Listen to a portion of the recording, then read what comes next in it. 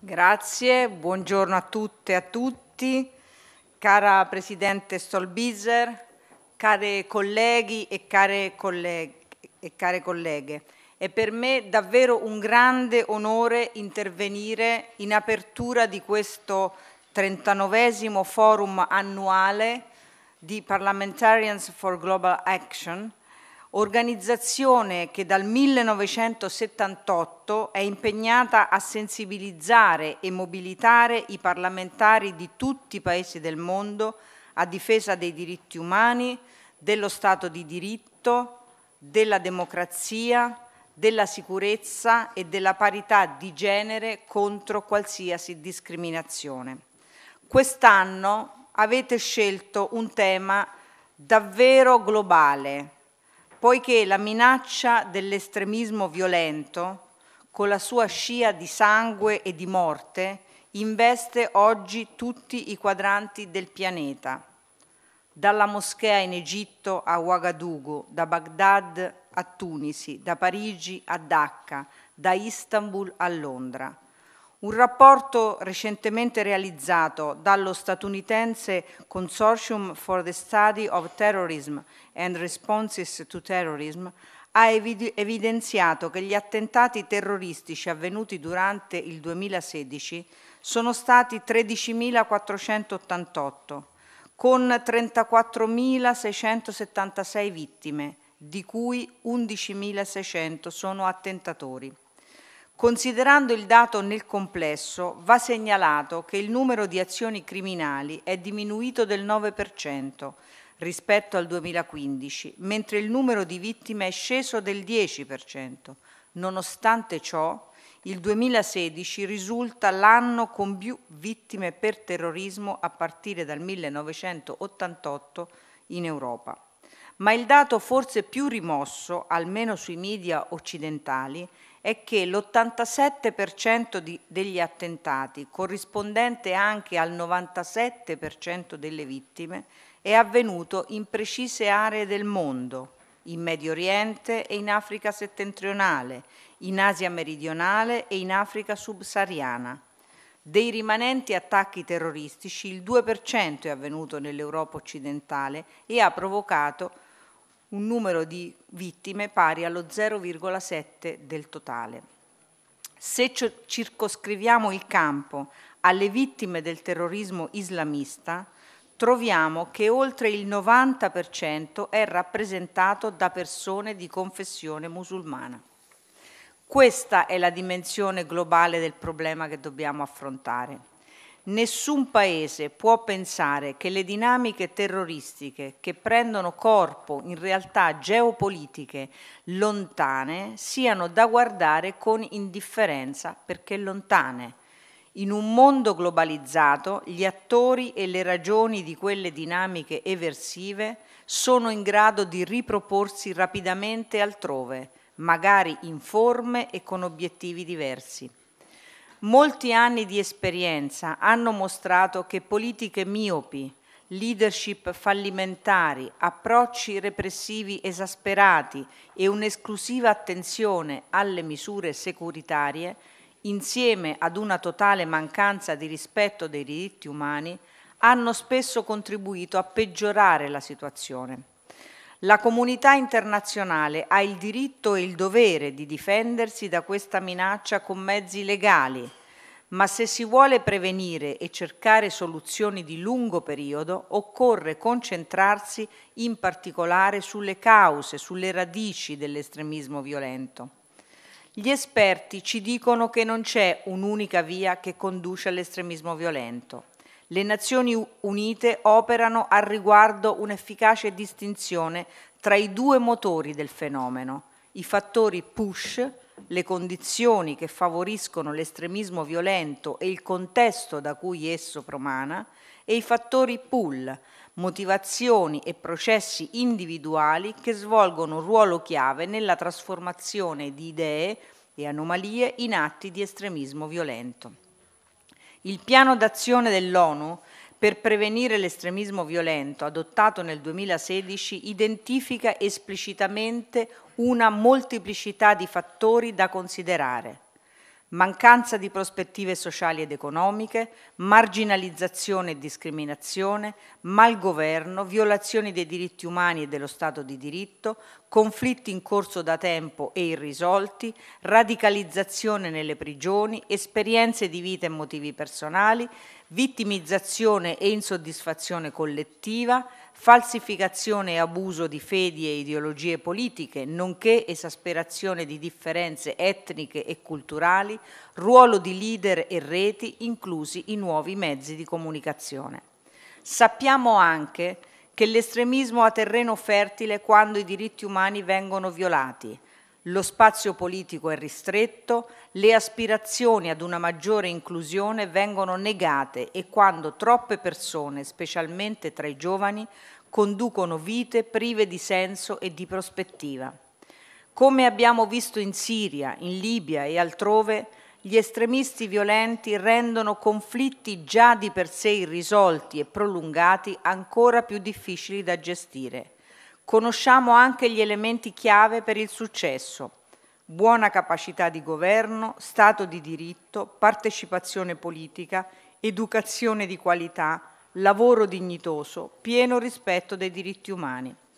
Il terrorismo non si combatte solo sul campo, ma anche facendo opera di prevenzione in quei paesi e in quei contesti in cui la mancanza di prospettive per il futuro rende i giovani fragili ed esposti al rischio di cedere alle sirene dell'estremismo violento.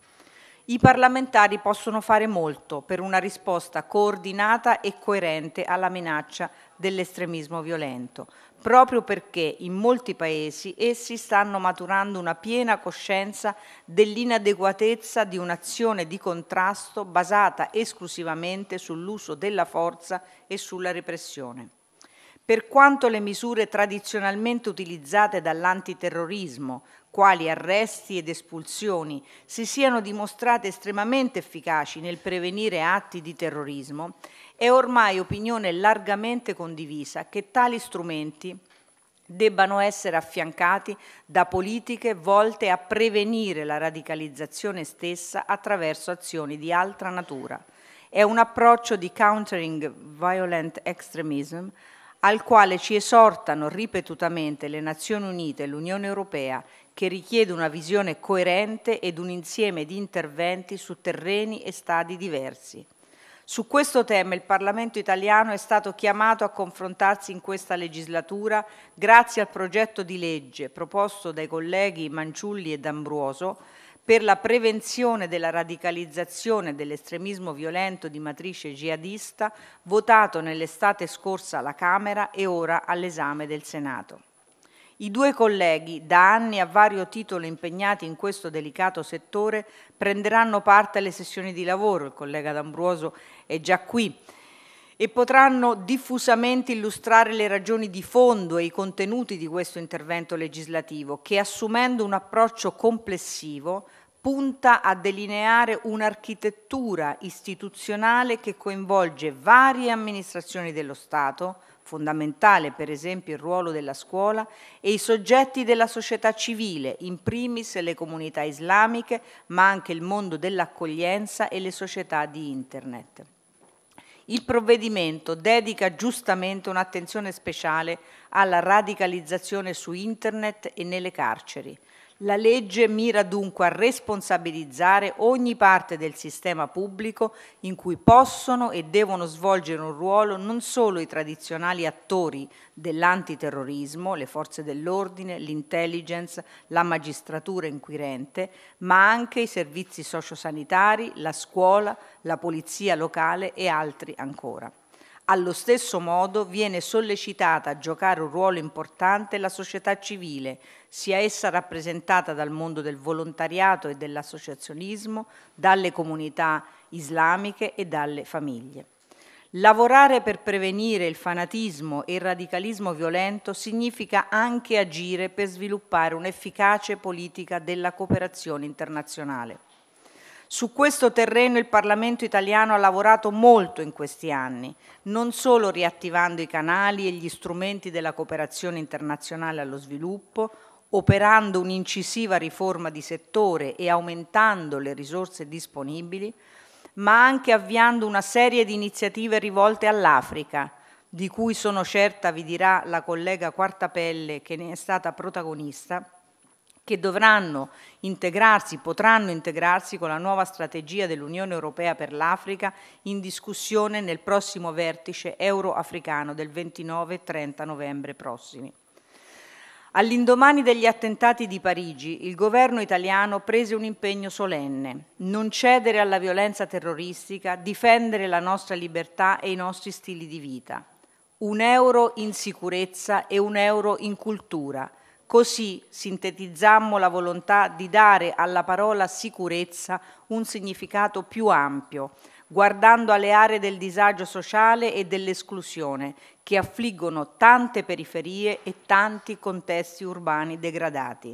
Da lì è scaturito il piano per la rigenerazione delle periferie, con la costituzione di un fondo dedicato a finanziare progetti elaborati dalle città, con il concorso delle associazioni e delle comunità locali. Uno sforzo importante che il Parlamento ha inteso accompagnare e verificare con l'istituzione di una commissione di inchiesta dal cui lavoro sono emersi elementi di analisi e di proposta molto interessanti.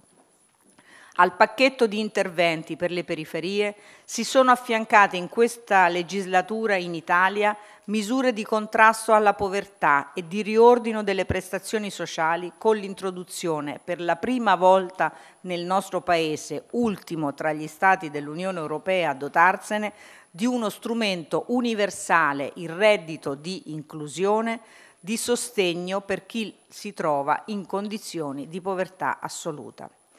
Si delinea quindi anche in Italia una strategia multisettoriale e di prevenzione dell'estremismo violento, nutrita dalla consapevolezza che si tratta di una sfida generazionale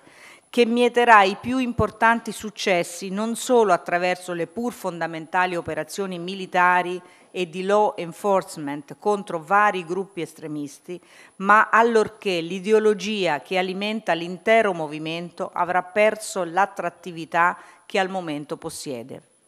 Come ha più volte ribadito il ministro Minniti, il ministro dell'Interno Minniti, a proposito della complessa gestione dei flussi di migranti e richiedenti asilo nel nostro Paese, sicurezza e integrazione debbono e possono andare insieme. Per questo ritengo sia necessario giungere prima della fine di questa legislatura all'approvazione della legge sullo ius soli temperato e sullo ius culture, che oltre a rappresentare il riconoscimento di un cambiamento in corso nel nostro Paese da vent'anni, come ha ben spiegato poco fa la vice sindaca Censi, sarebbe un buon modo per concludere questa legislatura, segnata da forti progressi sul versante delle libertà civili e dei diritti di cittadinanza. Vi ringrazio per l'attenzione e vi auguro buon lavoro.